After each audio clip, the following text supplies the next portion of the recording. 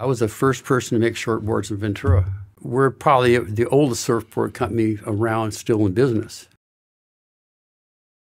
Welcome, Blinky, to the Young Athletic. Thanks for being here. How are you doing today? I'm, I'm doing good. I'm, uh, it's a good day. When you're 80 years old, every day is a good day. Yeah. Yeah. I, uh, I have to ask the first question. How did Blinky come about? Your name is Will Hubina. Yeah. And and Blinky is come, came from where? It it's came from high school, basically. Um, I had a younger brother, two years younger than me. When we were going to high school, and my brother, when he was three years old, had uh, retinoblastoma, which is a cancer of the eye, and so they had to take an eye, his one eye out when he was a baby, and so he has always had a glass eye. And anyway, so um, as we got into high school, when my brother showed up as a freshman and I was a junior, um, some of my friends started teasing him because he has an artificial eye and calling him Blinky and stuff like that. And one of my best friends was teasing him all the time. And so I said, hey, dude, you can't do that. Don't call my brother Blinky. And I'd, I'd give to all my friends about that. And they looked at me and my buddy, his name's John Rockford. He's a pretty funny guy.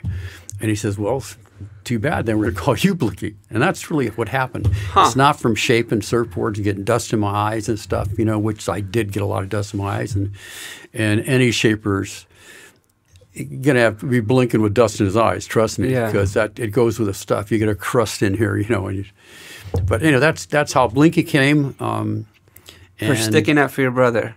Yeah. And, wow. And at, at, at, first, I really resented it. You know, I mean, for years, I didn't want to be called Blinky. You know, Blinky. But um, one thing was, and people didn't forget my name. Yeah. Um, for sure. So anyway, yeah, I'm stuck with it. Uh, I've learned to, to love it. I don't know if I don't know if anybody else be called Blinky but me.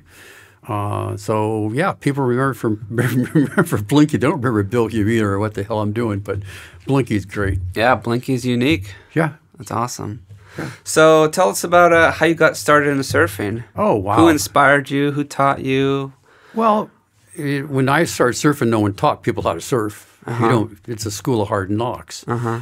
Um, but basically, I started surfing in 1958, 59 in high school, and uh, that was when all the little surf movies were coming out. Gidget and all these things, and people were going crazy over the surfing thing. And so everybody, everyone wanted to be a surfer. So where did you it, grow up? Was it here? Uh, oh, I was. I grew up in Simi Valley. Okay. Yeah, I was an inland surfer. Okay. In fact, I practiced kneeboarding in at a place called Robinson Lake. It was a little lake in Simi Valley. We all hung out on and bleached our hair. And we used to take and put take uh, baby oil and iodine, and mix it up and rub it all over ourselves uh, to get a better tan. Did it work?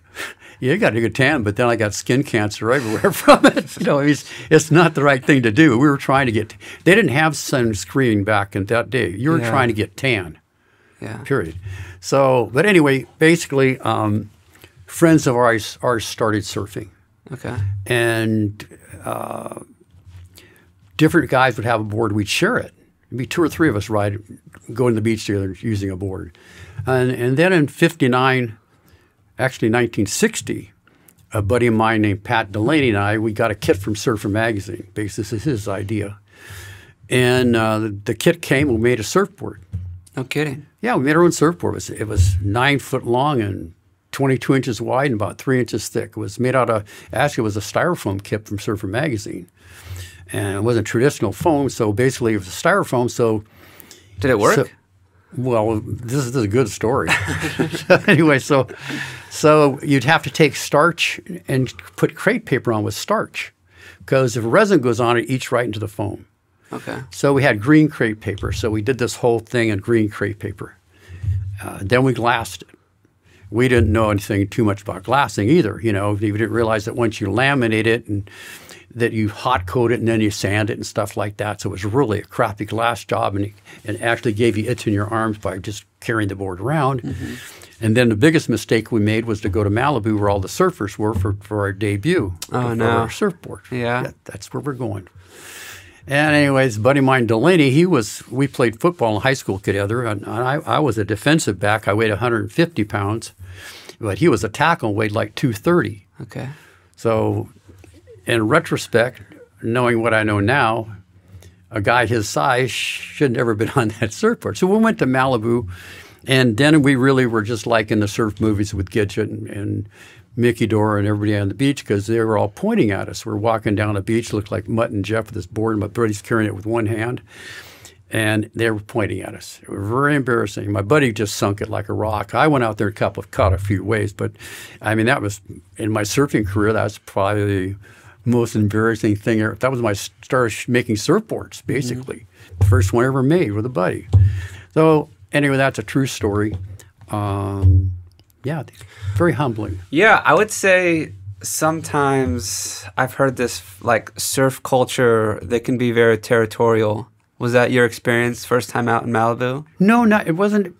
That's a whole. You know, it, it that territorial stuff came with the shortboards. Oh, okay. And it came at a later date, and when there was more and more surfers. Yeah. But basically, when I was a kid, I mean, there weren't people surfing. When I started surfing, um, if there was good surf, we looked forward to other people coming and surfing with us, like California Street, C Street, where all surfed, you know.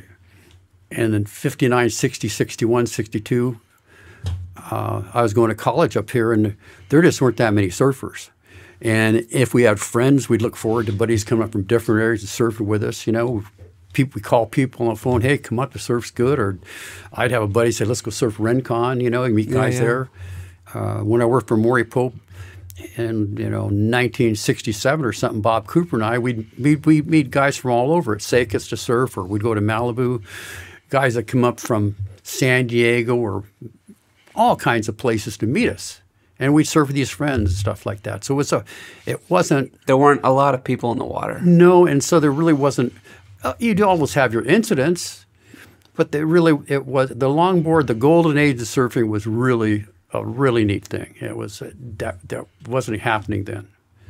You know, with the advent of the shortboard, then it was a different story. Okay. People got very territorial about you know, and then in the olden days there was only certain surf spots. You know, you could surf at Dana Point, you could surf in San Diego at Blacks or something. You know, um, Malibu, Dana Point, uh, Swami's. There's only so many surf spots on the coast. You know, Rincon, of course, and then Santa Cruz up that area there. So uh, a lot of guys would travel to go to these certain surf spots because because the longboard and being so new, people weren't surfing other other areas. You were surfing ones where all the but you see your buddies at, where the surf we knew was good, and that was happening with with the advent of the shortboard and the leash. Once the leash came along, you could surf anywhere. Mm. You know, but years ago with the longboard, there was places that were great looking, but you very bad if you didn't if you lost your surfboard. When when was a leash invented? Those who, who came up with that idea? Oh, those things that that leash thing happened probably in about 1969 or 70. Yeah. And the first leash I saw, I was in a surf contest in Santa Cruz, and Jack O'Neill had invented the leash in Santa Cruz. And the leash is what actually, he always see a picture of Jack O'Neill with a patch. And that's because the leash came back, hit him in the eye. What he had was he had surgical tubing with a string in it, and had a suction cup you could put on any surfboard. You put the suction cup on, the thing around your leg, and off you went. So the thing fling back at him in the eye. Oh wow. So, but that was a, I went to surf contests. I came back to Ventura with a suction cup thing, and then from there we made our own leashes. We just we've got I got bungee cord basically and and grommets and stuff and made a leash where it's strapped around your ankle and tied to your board and off we went. We were making leashes. Yeah. So, yeah, and then with the leash, you weren't losing your boards. You could surf places you didn't surf before, mm-hmm. you know, because a lot of places were, you know, had a lot of rocks. So that's kind of what happened. So, I see. What about uh I saw one interview you talked about not having wetsuits. oh no, we're, there weren't wetsuits. What was that like? Because it's cold Well, it here. was cold. Yeah. You know, basically, and it was cold. Uh, if the surf was really good, I mean, we surfed all winter, all summer and all winter. You know, Yeah. but you know, you can only stay out so long. And Right. of course, the thing back then was you were knee paddling, so the only thing in your water were your your feet and your knees. Mm. you know, of course, you get wet starting out there and so forth, and waves hit you if you fell off, but then you're out of the water. So that was a little bit, and that's kind of where that, everybody was knee paddling. That's where surf knots came from. I mean, had, there was people out there um, that actually had lumps on their feet and on their knees. I mean, lumps. And these lumps sometimes, you know, you know, water turn purple because yeah. it's so cold. And you got this lump, and then of course, if you got once you kind of cut open your lump, you know, you get you get a thing that never kind of heals because you don't stop surfing, so you got pus coming out of them. Some, you know, things were ugly. Some guys didn't get drafted, you know, into the Vietnam War because they couldn't put shoes on. It was a true story. Yeah. Um, so yeah, you're out of the water, but then of course you know, you had towels and beach. Most of the time, like Ventura, really, in the '60s, was a lot. The beaches were different. We had a really nice big beach with sand. We had the longest pier on the coast. The Ventura Pier was 1,870 feet out in the ocean. Really? Yeah. And uh, in Ventura, Harbor Boulevard went under the pier and all the way down to C Street. And uh, C Street was a bunch of old Victorian houses before they tore down the tore them down for the Holiday Inn and the parking structure and all that stuff. But anyway, so you got all these sand dunes and, and nice sand and ice plant. And as soon as you hit the warm sand dunes, you would, we'd roll around like little seals in the sand to get warm. You know, yeah. all kinds of stuff to get warm. Yeah. we had a house there that buddies of mine when they condemned all the houses down there, all these beautiful Victorian houses, right on Figueroa Street and California Street. Why were they condemned? Well, because the free was going through. Oh, they just needed the free was going to go through, and also they wanted to develop all the stuff, the whole development of the beach down there. So someone bought them all. They condemned them all uh, with eminent domain, they call it. And all these old houses, the people that owned them were moving out. And so some people that stayed there before they really had to move out, they're rented to some kids. But once they moved out, we had houses to live in. Uh, guys, guys, there was a house in the corner there, right at the end of uh, Figueroa Street. We called the House of the Rising Sun. Were different two different two different groups of guys live in this house. So these are groups of surfers living in these condemned houses live in a bunch of old houses before they got torn down. This and they didn't turn them down for over about a year. Okay. So that's crazy. It was interesting. yeah. so anyway, I all my friends lived in this one house on the beach. And what was cool about it was that the bathroom faced the surf break. And you could open up the window and watch people surfing out there. It's like a screen-in surf movie almost. Yeah, yeah. So the story was that after we'd surf, you're the first one in, coming in, you know, and you ran that to the bathroom and take a hot shower to warm up. Yeah, man, yeah. it's freezing. And you take your hot shower and watch your friends, you know. Yeah, By the yeah. time that you had enough water, you know, you, there wasn't much hot water left. And then you go back out surfing or just, you, you know, clean up and go home. Mm-hmm. But yeah, that was nice to, you know, have a hot shower there. When I'd surf up places like the Hollister Ranch in the early 60s, you know, wow, no no trunks, winter, water, really cold in the 50s, a lot colder than here.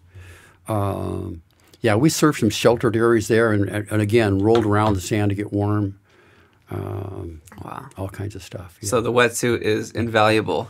It was invaluable. they started getting uh, some people in in the the mid '60s and early '60s. You know, the early '60s started coming out with uh, diving type things, beaver tails and stuff, and and uh, vests, things they could get from dive shops. So of course, the first guys with showing up with rubber rat, and rubber, you know, on them, we always picked on them, calling them rubber rats. You know, I think they were sissies. and then there were the ho daddies. You know, there were guys that never surfed, had surfboards and woodies and bleached blonde hair, and they were ho daddies. So they're posers. Posers is the same thing. It's yeah. like a skateboard calls a poser. Yeah, yeah. We had the Ho Daddy. Ho Daddies. And but you know, for a while there, uh, everybody wanted to be surfer. Yeah. Yeah. So that's interesting. What was that relationship like when surfing took off, and you were an actual surfer, and then you know, well, I mean, a bunch of posers coming on the lot, beach. There was a lot of guys that you know came to the beach with boards, didn't surf, so it didn't matter to me. But the surfing really grew, and uh, and so from the early '60s to about 19, well, to, to the '70s was the longboard era. Mm-hmm. You know, and once they hit in 66, 67, 68, 69 was the advent of the surf shortboard, which people were going to, and there were still longboard companies making longboards, but they weren't making as many because people were going to the shortboard. The shortboards at that time were like mid lengths, you know, which were typically you're riding a 10 foot board. All of a sudden, you're riding a 7.6 or 7.11 or a mid sized board, which still was plenty of float. You just had to work harder, but it had much more performance. Mm-hmm. So that's kind of how I started making surfboards in 1967. You know, basically. So, so you started making shorter boards? Oh yeah. Okay. Yeah, I was the first person to make short boards in Ventura. Yeah. So it's just kind of interesting. I had been working for Morey Pope for a long time, and this buddy of mine, Dennis Ryder, and I, we decided to. Is that when Morey Pope? Yeah. Is that when William Dennis? yeah, that's born? when started the William Dennis. So, yeah, so we rented an industrial bay, and we did uh, we built surfboards, did did uh, ding repair, did all kinds of stuff to try to make a living. You know, we did a lot of slip check stuff. That that was a popular thing then. We were uh, doing doily patterns and painting these uh, hallucinogenic things on surfboards because in the 60s there that was the golden age of surfing but it was kind of hippies free love patchouli oil Yeah. a lot of pot so Revolution. yeah revolution yeah people on acid trips things were happening then the 60s was really fun Yeah. uh, it was a real awakening uh, to younger people to a lot of people in the 60s So, talk us through the uh, the early days of William Dennis, because this is a, a big surfboard company now. Yeah. Well, it's it's really not big, but we're probably the oldest surfboard company around still in business in a lot of ways. I mean, there's a lot of old surfboard companies that were in business before us, but they went out of business and came back in business. But locally, we've had the surfboard wise, we've been in business since 67 as William Dennis Surfboards. Um, and that's been a, a great thing. It's been wonderful for me. You know, the kind of the history of how the Ventura Surf Shop really started and stuff, and which goes into William Dennis was the you know the Ventura Surf Shop. In Ventura, in the '60s, um, we really only had one kind of a surf shop, and a guy named Bill Fisher, uh, he was distributing resin and fiberglass, and he was also um, selling boards in his shop here in Ventura. Um, there were other brands. The, there, I think he was selling uh, Joe Quigg boards up here, something like one of those boards. And a buddy of mine, Tom Hale, worked for him. And so they were starting to make surfboards here in 1959, 1960 in that area there. And um, and then this guy Fisher got it made a deal um, with a couple partners, him and Sam Gillard, uh, and they started what was called VIP, Ventura International Plastics. Okay. So in 19 Like a manufacturer kind of thing? yeah, oh yeah, this is big time. Okay. So in 1959 and 60, Ventura had a mass production factory here, probably making more surfboards than anybody. And these surfboards um, went to Sears. They went to uh, Like all the di- old different department stores Yeah. all over the country, and they had the Shark, the Tiki. different models? Yeah, they had the Shark, Tiki, Duke Kahanamoku. Uh, which other ones? They had four or five models of boards. Uh-huh. So all, all being produced here. in Ventura. No kidding. Yeah. And so that, and, and so anyway, then from that, uh, Tom Hale left there and probably about 1961 or 62 and opened up a, a shop on Santa Clara Street. So Tom was now going to be our first real Ventura local surfboard shaper and surfboard shop. And so he had a shop going on Santa Clara and he was next to another business, which was Yvon Chouinard. We were, he was the next Quonset hut. We were at the very end of Santa Clara, and Yvon was the next Quonset hut, starting his business of mountaineering. Had a forge going, building, hammering out pitons, and all this stuff was there. So it's a whole beginning of a, awakening of different things in Ventura. And then in '63, Tom Morey showed up, told Hale he was going to make surfboards in Ventura, and then asked Hale if he wanted to go, wanted to um, shape his boards. And so Hale went, well, I don't know, why not? So the two of them split the rent on Santa Clara Street, split the phone bill. And so then Tom Morey was making what's called Australian surfboards, which was the first Morey boards ever made were called Australians. And then Tom, Morey's wife, drew up the decals and lambs. And so Tom, in 63, became the Ventura Surf Shop. Morey's wife, Jolly, drew the, drew the decal for him. And then we had a great big long surfboard that they may put Ventura Surf Shop and Morey on. So it was the first Ventura Surf Shop sign. So they made boards out there in, on Santa Clara Street. And in about 1963, 64 is when I started showing up there, surfing and buying, going to get a, a, a, new, I had a Tom Hale. And so then eventually I, I got an Australian from Morey. Mm-hmm. And that there was only, I don't know, very few Australian surfboards made. What's the difference between an? Is it just a model? Is it the it was shape? His, it was his, his, name of it called Australian surfboards. Okay. Where he got that for from, I don't know. Was it like a different style of surfboard, or was it no? Just I just I brand? think that was just Morey's thing. It was his own design. Okay. You know, and it, it, the label was a a decal of Australia. I think his Australia was such an influence at the time in surfing. Morey had something going on with that. He just wanted to be different. And then Australia was kind of when we had the Australian to go back, uh, one of the neatest things that ever happened out of that was Morey decided to do something with surfboards no one else had done. And basically, what that was, what he was doing was making the first removable fin. Oh. So Morey invented what's called a pin fin.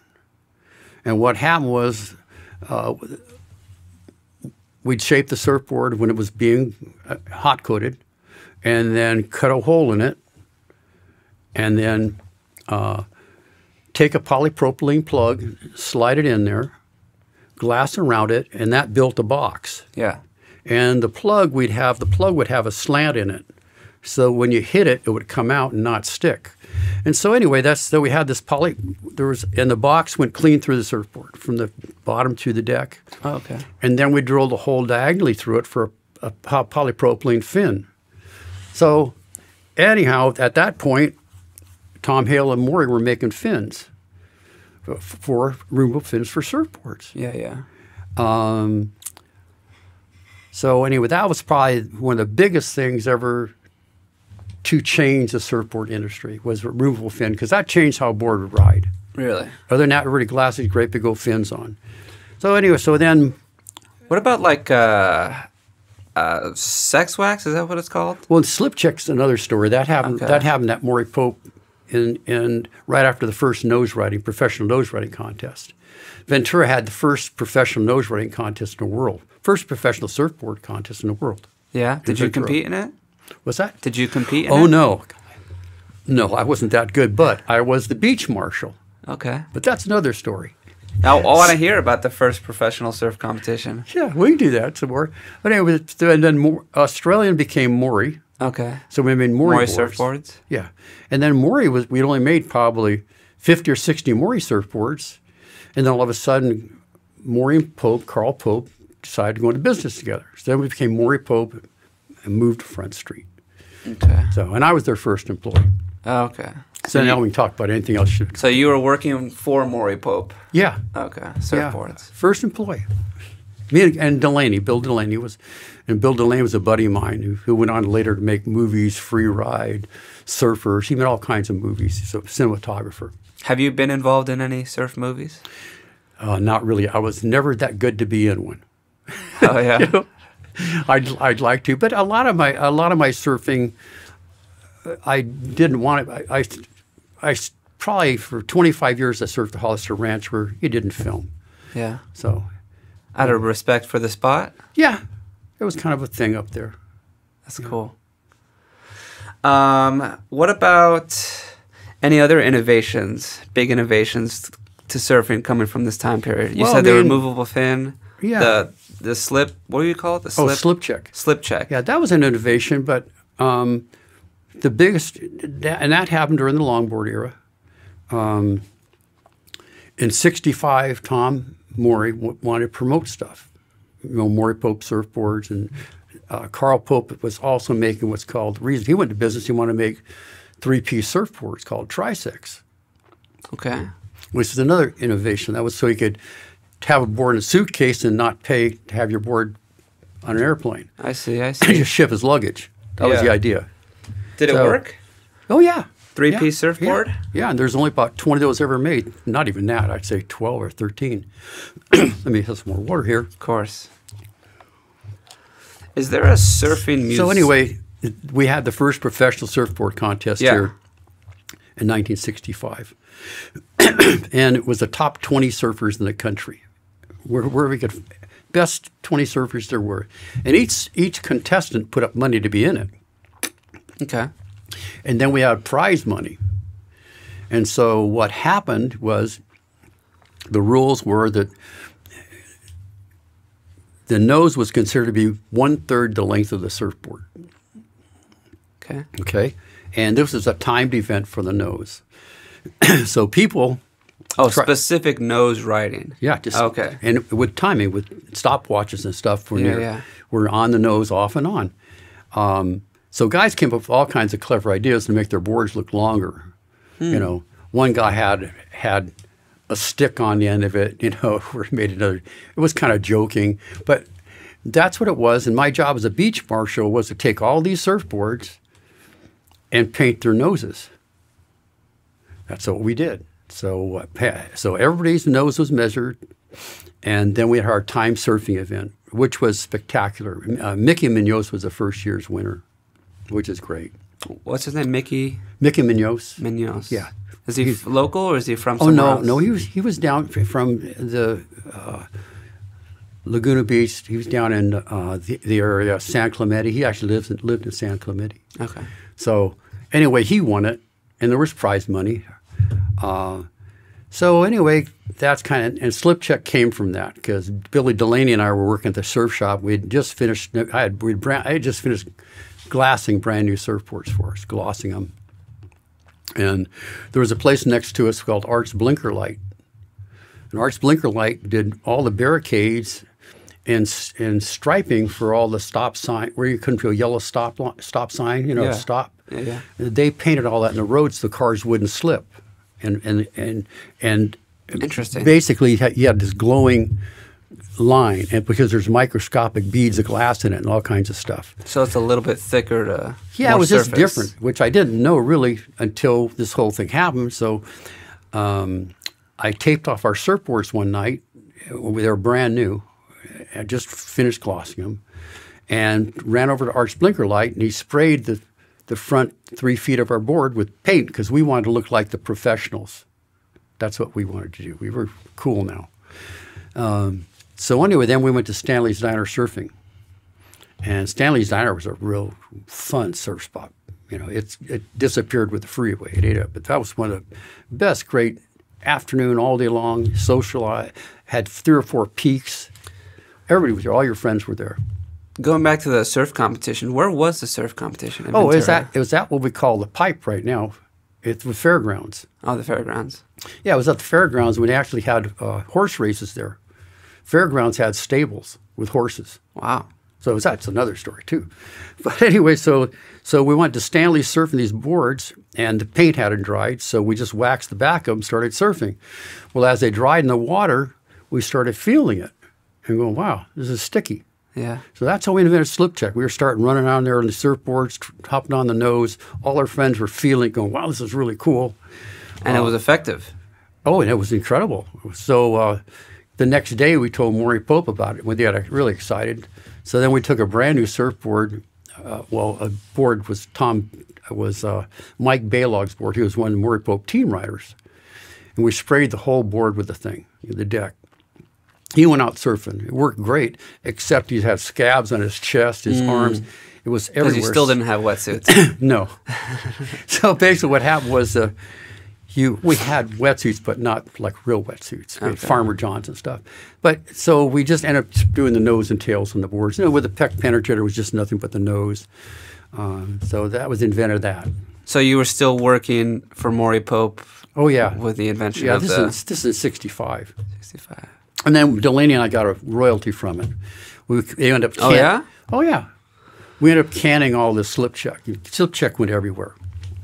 Go to all over, all over the country. Yeah, I mean that's a huge innovation that makes surfing Yeah, I a think lot easier. I think uh, Delaney and I got uh, five percent of the gross. We got two and a half percent each of every can of slip check sold, which man, it didn't seem like a lot of money, but back then it was a lot of money to us kids. Yeah.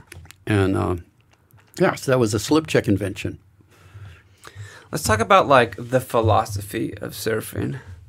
Hmm. What makes like a surfer different than like another athlete, like a soccer player or a football player? Oh, I don't. I don't really think there's any difference. It's a sport. Yeah.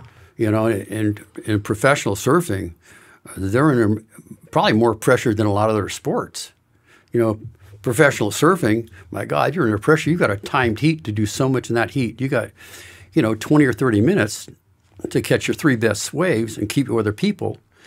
And the waves just don't come every second. Yeah. So you have to get in a rhythm. You got to, I mean, But I'm thinking more like I feel like the philosophy of a surfer is more Oh, uh, relaxed, sure, more laid back. yeah, and, and some, well, that's because in the early 60s they were all stoned. Okay. So they were laid back. That it's, helps. It's it, it is just it, it's a wonderful sport, and it's, it's it's a lot like being in nature. I mean, it's you and a wave. Basically, you're out there enjoying this wave, performing on it. You know, doing as best you can, riding a wave, and it's exciting to do something. It's, it's exciting to catch a, a wave and ride the whole thing to the end and do things on it. And as waves get bigger, it, it's an adrenaline high. You get out some big surf, and it, it, it can be very scary, and it's, and it's a dangerous sport. I mean, you could hit in the head real easy and die. You know, I mean, you people you can drown. I mean, held underwater for a minute or two was no fun. You know, you- Tumble, getting tumbled. I guess I've never thought about surfing as like being in nature, Yeah, but you is- are. Oh, it's it is nature, and and what's neat was in the early early years of surfing, uh, discovering whole new surf spots where no one else surfed. And fun. People went to Mexico and surfed places no one had ever been. You know, warmer water. That was a trip then to going to Mexico. Going down where the water was was was you know 75, 80, 90 degrees compared to freezing. Have you gone international and surfed? Oh, I've surfed all over. Yeah, Yeah? Hawaii, Australia, Mexico. You know, uh, different islands. You know, uh, the Do you- Caribbean. Do you have a favorite? I know it'd be tough to pick. Oh, uh, you know, I I love surfing at home. I I think if I if I want to really do my life as a surfer, I'd probably live in Hawaii. Yeah. I think you have great waves over there, and, and I mean you can't hardly beat the surf in Hawaii. It's warm. Uh, the, the Hawaiian feeling is great. You know, it's a. I, I love Hawaii, and I also love Australia. Australia, Australia is just still a new frontier. Australia is the size of the United States, but basically with one tenth the population. It's mostly on the coast, but Australia, it's a, my, my all my my son, his wife, and all my grandkids live in Australia. Really? Oh yeah, it's beautiful. You know, I mean, you know, the education system for the kids, health systems. You know, it's socialized medicine, socialized schooling. Everybody gets treated the same. Uh, but the surf's insane. Yeah. Oh yeah, there's some good surf over there. Have you caught any big waves? Any monsterish waves that you can remember? I've caught a lot of monstrous waves, and I remember every one of them. Yeah.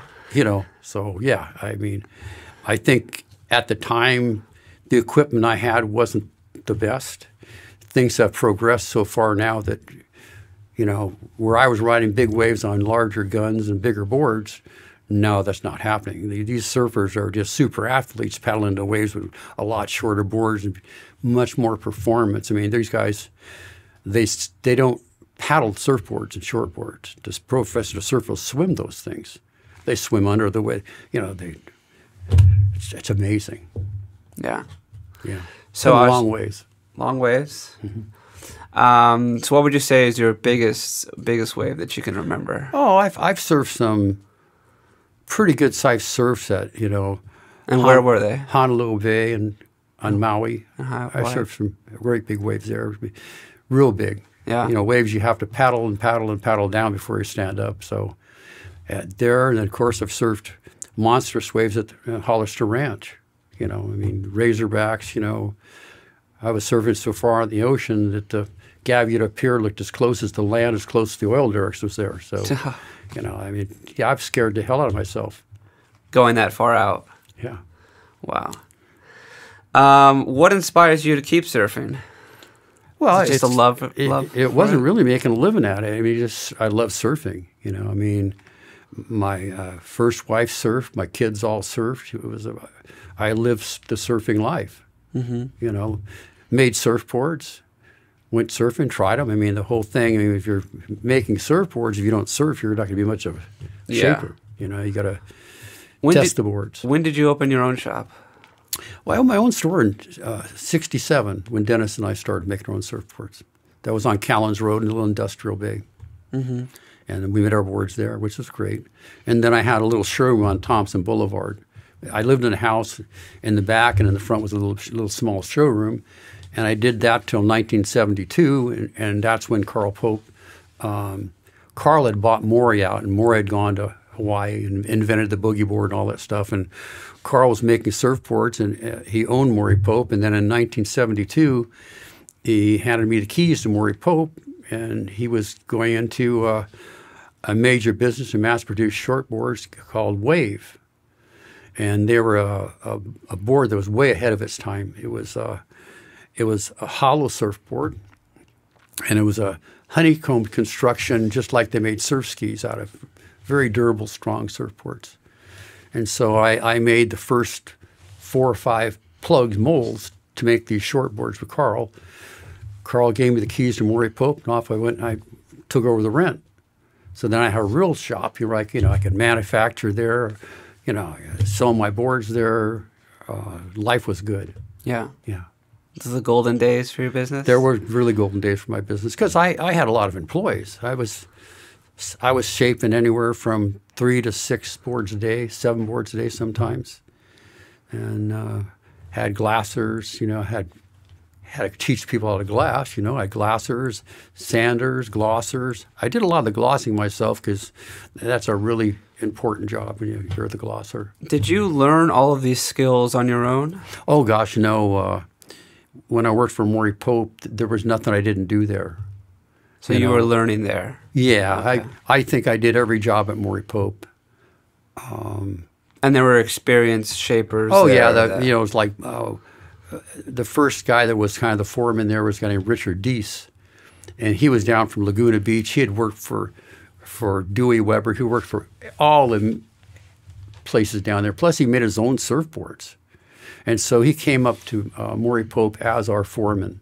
Okay. And the guy, the guy was an amazing craftsman. The, guy could make, he could do anything with resin. So I learned a whole lot of my trade from Richard. You know, I learned a lot of the glassing, you know, uh, sanding. You know, all my rough shaping I learned from Richard Deese how to shape surfboards originally.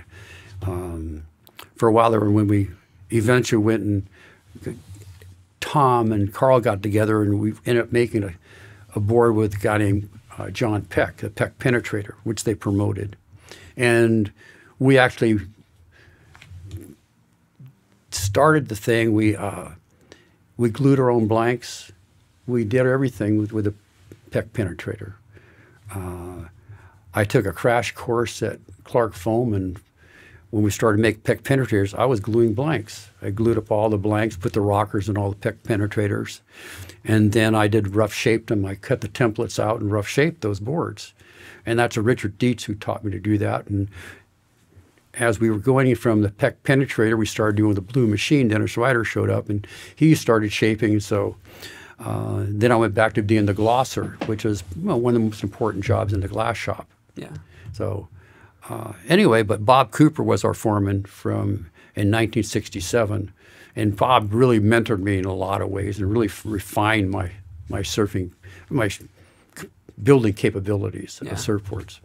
And have you passed along the tradition? Have you been? Oh, I tried. Oh, sure. I mean, there's, I had the ki- I had kids there that were surfing, shaping for me then. They're shaping now. Yeah. You know, so lots of them. Uh, there are a lot of people in Ventura in the trades worked for me as in William Dennis surfboards. Yeah, without a doubt.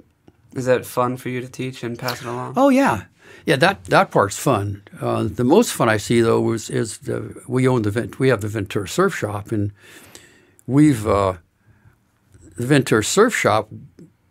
My first salesman, their sons have worked for us, and now their grandchildren are working for us. Wow. We have raised hundreds hundreds of kids in that surf shop.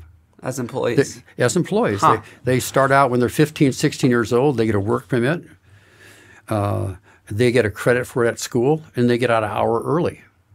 and That's so nice. we still have kids, you know, that come to the shop. We have uh, a granddaughter of of one of my first employees working there now. She's 16, and the granddaughter of one of my old surfing buddies his kid hung out there, and now the grandchild's working there. So I have two granddaughters from this. And a lot of these people have uh, really excelled. They've gone through our shop, they've gone to college, they've gone into business, and they've been successful.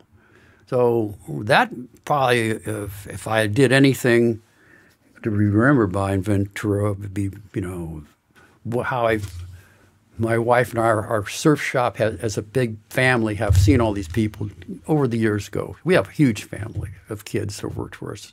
Yeah. And of course, all our team riders we've had for years too. All the, all the kids that have sh- surfed my surfboards for a long time. We, there's a lot of those too. So that's been a very rewarding experience for you. Oh yeah, for see. what I for what I do. I mean, I'm 80 years old.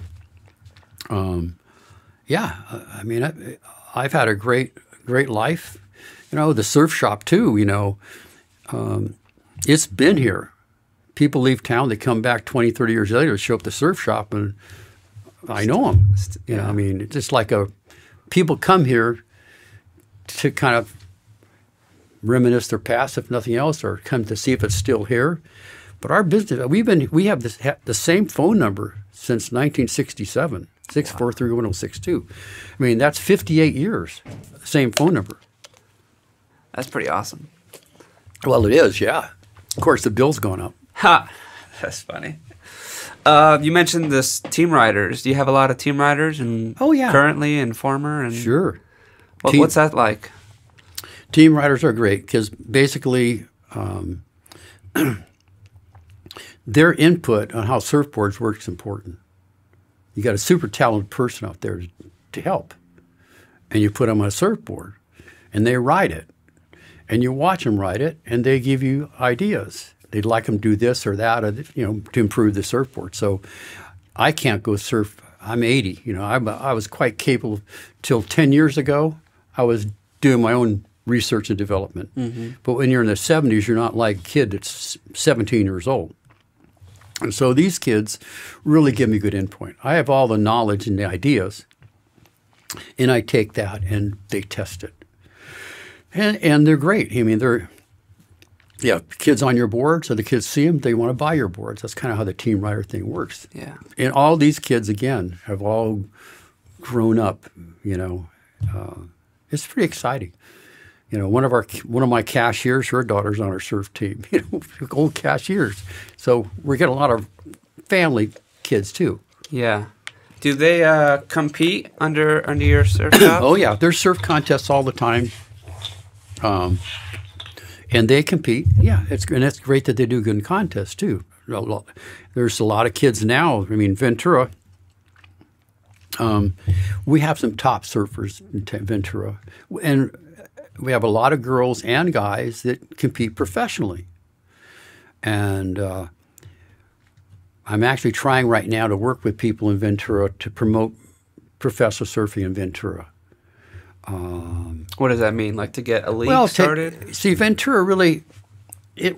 We had the first professional surf contest here ever, and there's a lot of contests, but they really don't have that many professional ones. We have club contests, Uh, we have The surf rodeo I've heard about. yeah that kind of thing, and, and there's there's there's different contests for kids in high school and stuff and college. Um, so there, there are more people trying to do professional surf contests. The shortboard thing's no problem because that's big time money, but the longboarding isn't. So I'm I'm trying to uh, get with different people of Ventura, you know, of different organizations to promote professional surfing, and hopefully put on get some contests here in Ventura. We have a couple different contests that are put on in Ventura. One for guys longboarding, and one for girls, and one for all of them. Different professional contests. So, and then these kids want to travel, but they have no money. You know, they're they're not sponsored. You know, they they don't have that much money. Uh, so to hopefully get these kids to where they can travel and go to their contests, kids from Ventura. So that's how I'm working on that. Yeah, I mean that's part of what I want to do with this podcast is get more exposure to Oh, yeah. coaches and athletes to Yeah. Well, it's, it, it needs a Ventura. Ventura is kind of the unknown surf mecca. Mm-hmm. Where, where Santa Cruz and Huntington Beach are the surf capitals of the world. But there's a lot going on here in Ventura. And I think mile for mile, we have more surf Ventura than anywhere. We go all the way from county line to Rincon.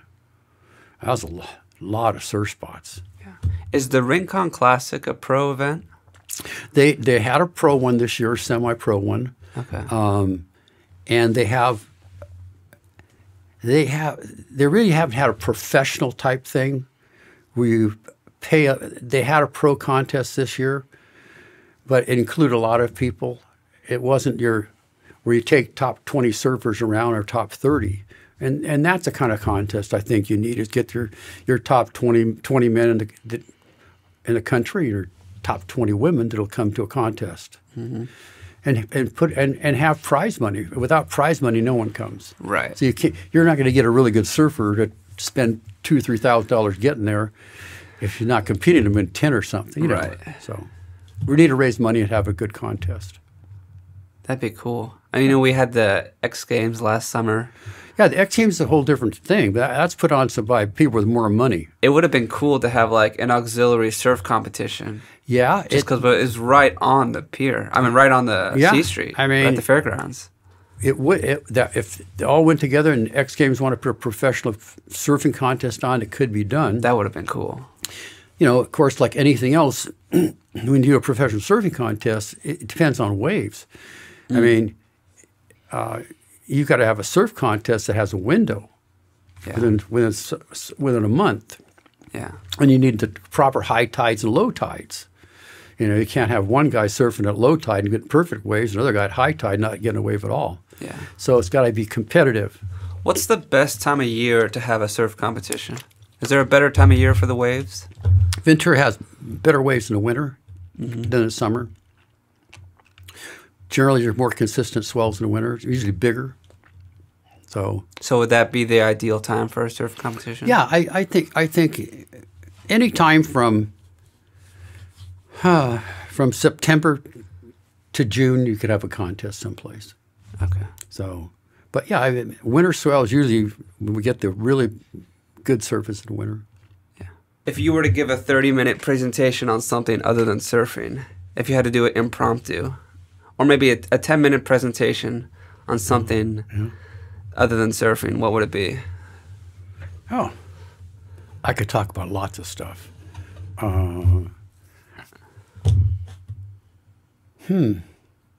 I, I think I would like to talk about travels, going different places. Yeah.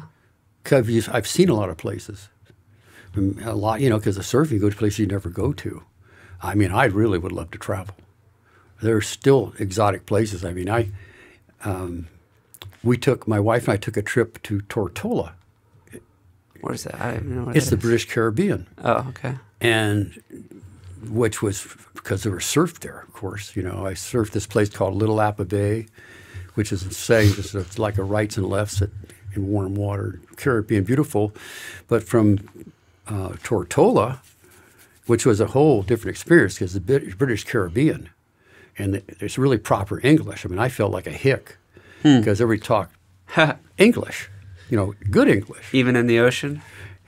everybody was very sophisticated. It sounded like. But what happened there was there, there's four or five, six islands. There's island chains out there. So every day you can get on a ferry and hop in that ferry and go to a different island.